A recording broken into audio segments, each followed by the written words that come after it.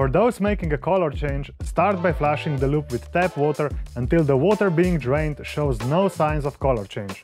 Now that we have a fairly clean loop, it's time to prepare it properly. Step 1.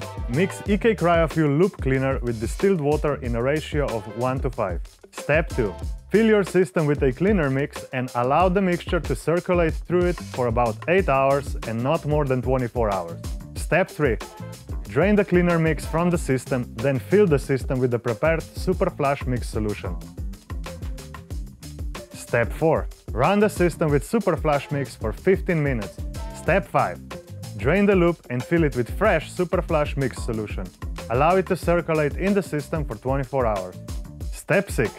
After 24 hours, drain the Super Flush Mix from the system, then fill the system with your newly selected EK Cryofuel coolant. And that's it! Your system is now ready for use.